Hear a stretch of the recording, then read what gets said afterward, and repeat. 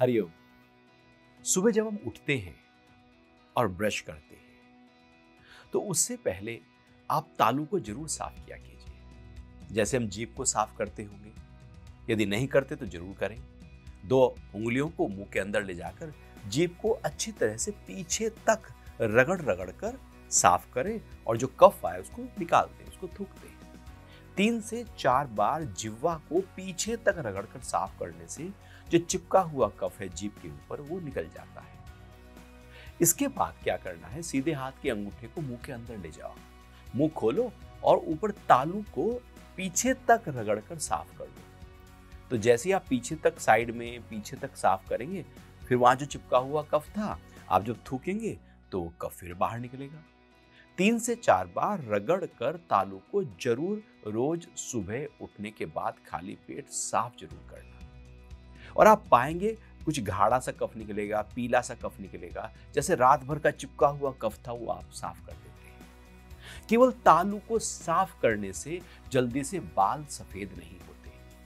तालू को साफ़ करने से नजला जुकाम की शिकायत नहीं होती और जिनको बहुत ज़्यादा साइनस की शिकायत रहती है, उनके लिए बहुत ही लाभकारी हो जाता है। जिनको कफ दोष रहते हैं उनके लिए लाभकारी हो जाता है। जिनको सांस लेने में तकलीफ़ रहती है, उनके लिए तालू साफ़ करना लाभकारी हो जाता है। और तालू के साफ़ करने के बाद आप अपने नाक को भी अच्छी तरह से, दोनों नाक को पूरे श्वास भरने के बाद श्वास को निकालें और तेज़ी से नाक को साफ़ कर दें। भले आपकी नाक साफ़ हो, आपको लग रहा है कि नहीं, नाक तो खुली है, कोई कफ नहीं है, फिर भी आप अच्छी तरह से नाक को साफ़ करें और फिर आप पाएँगे कहीं से हल्का सा कोई कफ निकला है। अर्थात सुबह को ही आप अपने साइनस को अच्छी तरह से साफ़ करें। इसके बाद मुँह में पानी भर लें।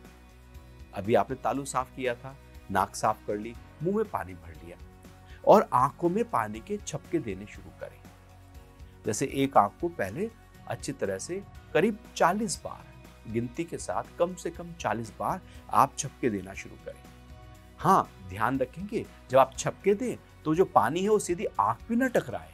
आपकी गाल पे जाए और धीरे से आँख पर जाए। आँख को लगातार धोते रहना है। तो एक आँख को पहले 40 बार धो ले और फिर ऐसे ही दूसरी आँख को 40 बार धो ले। ऐसा करने से आपकी आँखों में एक शीतलता का अनुभव होना शुरू हो जाएगा और जो रात भर सोने के कारण से जो उसमें एक जलन सी रहती थी, वो आँखें निर्मल होने लगी तो हमने सुबह ही तालू साफ़ कर लिया, जीभ साफ़ कर ली, नाक साफ़ कर ली और फिर आँखों को भी अच्छी तरह से पानी के साथ साफ़ कर लिया। तो ये जो द्वार है हमारे, इनको जितना आप सुबह को साफ़ कर लेंगे क्योंकि इसमें कफ इकट्ठा था तो उतना दिन भर एक हल्कापन बना रहेगा। और यदि इनको अच्छी तरह साफ़ नहीं करेंगे तो धीरे धीरे चूँकि ये कफ का स्थान है छाती से लेकर सिर तक का तो धीरे धीरे कफ की वृद्धि होकर अनेक प्रकार के रोग हमारे शरीर में पैदा होने लगते हैं। तो ये छोटे से अभ्यास है, इनको ज़रूर किया कीजिएगा। हरिओम।